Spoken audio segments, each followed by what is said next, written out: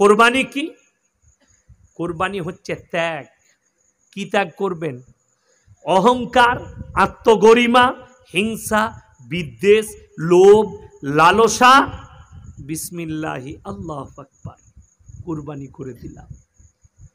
কোনটাকে কোরবানি করতে হবে শুনেলেন কোরবানির দিনে বটি নিয়ে গোস্ত কাটতে বসেছেন। আমাদের দেশের এত ভালো লোক আছে না, গোস্ত কাটতে কাটতে ঠিক ভালো খান্ডাটা লুঙ্গির তলায়। কুরবানি শেষ। বুঝতে পেরেছেন না পারেননি তিন বন্ধু মেলে শুনেন, অনেকজন মনে করেন, তিন বন্ধু মেলে কুরবানি দিচ্ছি, ভাগ করে দে, ওজন করার দরকার নাই, ভুল ডিটিস ডিসিশন। একদম পাই টু পাই ওজন করে ভাগ করতে হবে। তা না হলে তিনটে যদি ভাগ ফেলাও, তিনজনের মধ্যে একজন যদি মনে মনে বলে না মোদের মালটাই ভালো আছে, ওইটাই তুলবো আমি, যা হবে হবে। তিনজনারই কুরবানি শেষ। বুঝতে পেরেছেন না পারেননি? ওই জন্যে এক টুকরো মাংস যদি থাকে, সেটাকে তিন ভাগ করে ওজন কর। অনুমানিক ভাগ লয়। মনে কিন্তু থেকে গেলে লোভ লালসা জমলে তিনজনারই কুরবানি বরবাদ হবে। ওই জন্য আল্লাহর কাছে দোয়া করো, কুল ইন্না সলাতি, ওগো আল্লাহ আমাদের নামাজ। ওয়া মামাতি লিল্লাহি রব্বিল আলামিন। ওগো আল্লাহ আমাদের কুরবানি আর আমাদের জান, আমাদের জীবন এবং আমাদের মরণ তোমারই হাতে। এই দোয়া করো আল্লাহ, আমাদের নামাজকে কবুল করো, আমাদের কোরবানিকে কবুল করে নাও আর আমাদের জীবন আর মরণ সব তোমারই হাতে। আর এই কোরবানিটা কবুল হবে তখন, যখন হালাল পথে আপনি যখন কুরবানি দিবেন। হালাল পথে আপনার কুরবানি যদি হারাম পথে হয়ে যায় হারাম পয়সায় হয়। আল্লাহর বারগাহে কবুল হবে না। আচ্ছা ওটা ক্লিয়ার করে দিচ্ছি। ক্যাচ ভালো রেখেছে। ঠিক আছে ও ক্লিয়ার করে দেবো দাঁড়া। কি বুঝলি আমার ভাই তো কোরবানি হচ্ছে ত্যাগ করা। লোভ লালসা ভাইয়ের সঙ্গে কথা নাই। কুরবানির দিনে ঈদের নামাজ পড়ে ভাইকে বুকে জড়িয়ে লাও ভাই, ভুল হয়ে গেছে, আমার বাড়িতে যাবে। একটু গোস্ত খেয়ে আসবে। একটু দাওয়াত রইল। বুকে জড়িয়ে ভাইকে, সব ভুলে যাও। একে অপরের সঙ্গে মিল, মোহাব্বত করব। সকলে জোরে বলুন, ইনশাল্লাহ।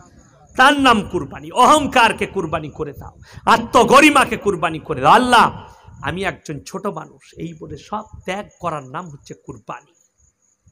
যারা নেক এখলাস নিয়তে কুরবানি দেয়। কুরবানি শুনে অনেক, এটা নিয়ে অনেক মতভেদ দেখা দিচ্ছে ভারতের বুকে।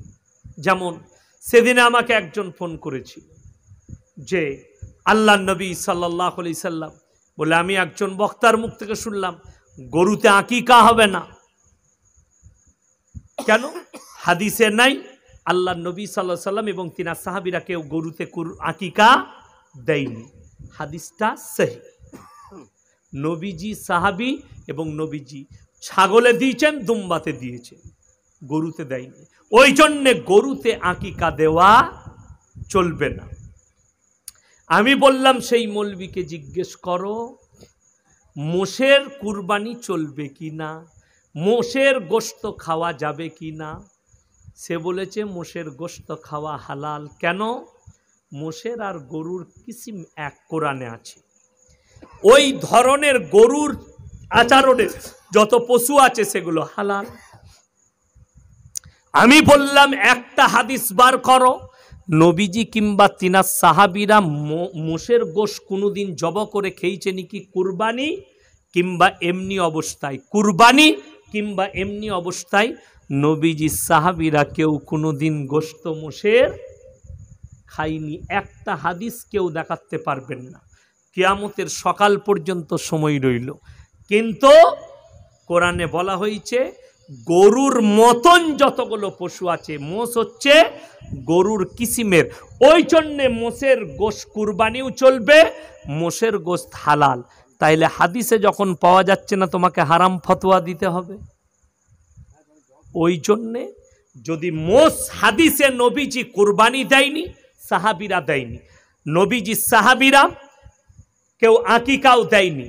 আমার ভাই ওই রকম গরু হচ্ছে হালাল, মহিষ হচ্ছে হালাল, এর মধ্যে আঁকিকা দুরুস্ত হয়ে যাবে। নবীজি দিয়েছেন ছাগলে, কিন্তু গরু তো দুরুস্ত হবে এটার কারণে। তা না হলে তোমাকে ফতোয়া দিতে হবে মোষ হারাম। কেন কেউ দেখাতে পারবে না যে সাহাবিরা কুরবানি দিয়েছেন কিংবা গোস্তা খেয়েছেন। ওই জন্যে ঝামেলা ঝঞ্ঝট নয়। কুরবানি দেন, সাত ভাগে একটা গরুতে কুরবানি দিতে পারবেন, অসুবিধা নাই। এমন একটা দিন আসবে, নবীজি ভবিষ্যৎবাণী করেছিলেন চোদ্দশো বছর আগে, বাঁদির পেটে মালিক পয়দা হবে। হচ্ছে? সেই আটিসের একটা সন্তান আছে, যে তার ঘরের বাঁদির পেটে জন্ম নিয়েছে। তার বীর্য নিয়ে বাঁদির পেটে দেওয়া হয়েছে। তার পেটে তার বাচ্চা লালিত পালিত হয়েছে। দিয়ে বলেছে, এটা আমার সন্তান। ইসলাম বলছে, এটা হারাম সন্তান। আমার নবীজি ভবিষ্যৎবাণী করেছেন, মানুষ এমন পাপাচারিতে লিপ্ত হবে যে বাঁদির পেটে ছেলে বাঁদির পেটে মালিক পয়দা হবে, এমন একটা যুগ আসবে। লোহাপুরের কাছে বাড়ি।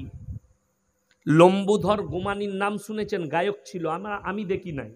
আমার আব্বাজিরা বলে। বয়স্ক মানুষ যারা কবি গান করত। সে বলেছিল আজ থেকে, ইমানি না গুমানি? গুমানি। সে গান করেছিল আজ থেকে চল্লিশ বছর আগে। এমন একটা যুগ আসবে, বাবা মেশিনে ছেলে হবে। মেয়েরা তাকে জুতো ছুঁড়ে মেরেছিল সেই মজমায়।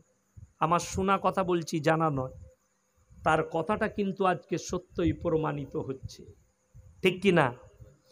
সে চল্লিশ বছর আগে বলেছে, তখন মানুষের এটা ধারণা ছিল না। সে মুসলমান ছিল, লম্বুধর গুমানি। সে কিন্তু নবীজির ভবিষ্যৎবাণী পড়ি বলেছিল কথাটা। এমন একটা যুগ আসবে, মেশিনে ছেলে হবে, আজকে সেটা সত্যই প্রমাণিত হচ্ছে। ওই জন্যে ইসলামে চারটা বিয়ে জায়েজ করেছে। আমাদের চারটা বউ, যে কোনো হিন্দু ভাই শিক্ষিত, যারা সাধু আছে, যারা ধর্ম সম্পর্কে জ্ঞান রাখে, তাদেরকে জিজ্ঞেস করবেন যে, তোমাদের শ্রীকৃষ্ণের কতগুলো স্ত্রী ছিল? কতগুলো ছিল কে জানেন? শিক্ষিত লোক একজন বলে কটা? আ? ষোলো হাজার একশো।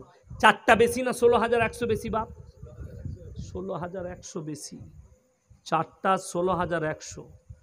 হেমন্ত বিশ্ব শর্মা আসামের মুখ্যমন্ত্রী। जरा धर्म के बारे में पढ़ लिया कीजिए जरा हमसे बैठ जाया कीजिए আজকে বড় কষ্ট লাগে যারা আপনারা টিভির ডিবেট দেখেন শিক্ষিত মানুষদিকে বলছি এই খবরের ডিবেটগুলোকে আপনারা অ্যাভয়েড করুন ওই জায়গা থেকেই বিষ ছড়াচ্ছে হিন্দুস্তানের মাটিতে টিভির ডিবেটে যেদিকে বস করানো হচ্ছে আমাদের মতো টুপি লাগিয়ে দাড়ি দিয়ে আপনারা মনে করছেন অমুক মলবি ওরা মলবি নয়। ওগুলো বিক্রি হওয়া মলবি।